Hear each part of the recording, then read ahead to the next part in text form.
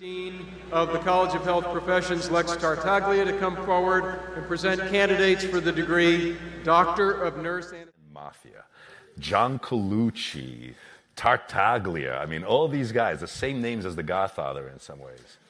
consistent understudy rehearsals, but also our resident director, John Tartaglia, who originated the role of Princeton and Rod, um, will come in to sort of do a